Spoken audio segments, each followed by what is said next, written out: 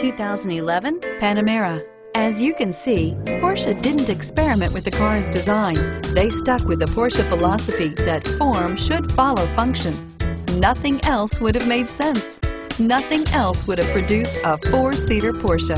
This vehicle has less than 75,000 miles. Here are some of this vehicle's great options. Power passenger seat, traction control, navigation system, leather-wrapped steering wheel, air conditioning, dual airbags, power steering, four-wheel disc brakes, AM FM stereo with CD player, active suspension system. Take this vehicle for a spin and see why so many shoppers are now proud owners.